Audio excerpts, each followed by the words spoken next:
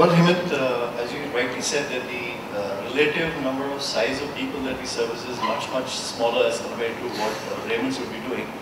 But nevertheless, this customer is, is far more demanding. He's far more learned, he's far more aware, and he's far more sure of what he wants. So we go to the extent of CRM management in the sense of uh, already going down to his buying behavior, his buying pattern, aside the ticket value.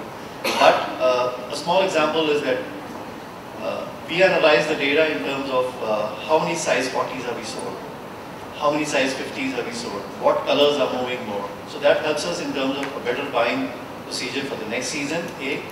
B, when I want to hold uh, a clearance or end of season kind of a situation, then I put up all the size 40s left over with me for two days in the store. And I invite only the size 40 customer and come and say, hey, come, I can give you a quick service. It is helping me two ways. One, the service time to service that customer is reduced drastically. Typically, a store would display uh, fast-moving sizes and the other sizes would be kept in the back end. So a, a store guy, if you if you are a different size than what is on the shelf, the store manager or the salesperson has to go to the back store, pull out their size, pull out all the colors and then try to sell to the consumer. Now the customer I'm trying to service, he's got very limited time and he wants to be serviced like a king. So if I do a special uh, kind of a bonanza when I tell him that for the next two days I have only the size 40s in this particular color on display, then the people who have been buying that size, that color, they are attracted or they are invited for that for that short period and we are able to service them very quickly, helping us turn around the non-moving stock or whatever inventory we are left and we are able to attend to a lot many more customers in, in a short span of time. Besides that, yes, we try to do a lot of cross-promotion between our brands. As a company, we expanded into uh, various product categories in the sense that keeping the consumer common, what is it more that he would require besides just clothing and lifestyle products?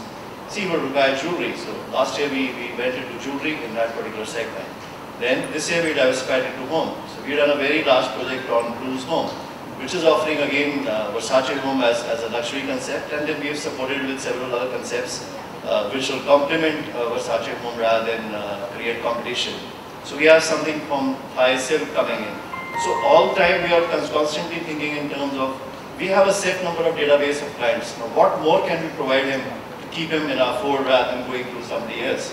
So those are few programs which uh, people can implement at a door level as well in terms of you know the category expansion rather than just a vertical expansion in one particular category. So it's the width and the height which is equally important.